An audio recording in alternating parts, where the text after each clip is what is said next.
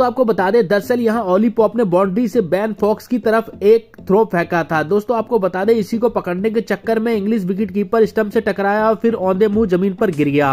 English team के लिए राहत की बात यह रही कि इस घटना के दौरान फॉक्स को कोई चोट नहीं लगी और वो तुरंत खड़े होकर फिर विकेट कीपिंग के लिए तैयार हो गए। इसी बीच उनके साथी खिलाड़ी उनपे हँसते हुए नज़र आए। दोस्तों, ऐसा लग रहा था कि उनको बहुत ज़्यादा चोट लगी होगी, पर दोस्तों, उनको ज़्यादा चोट नहीं आई थी और तुरंत खड़े होकर विकेट कीपिंग के लिए चले गए। दोस्तों, आप हमारे वीडियो में कुछ खास वीडियो देख सकते हैं। इसको लेकर आप क्या कहेंगे, अपनी राय और कमेंट ज़रूर दीजिएगा। हम आपको मिलेंगे दोस्तों अपनी नेक्स्ट वीडियो में किसी और नई अपडेट के साथ। धन्यवाद।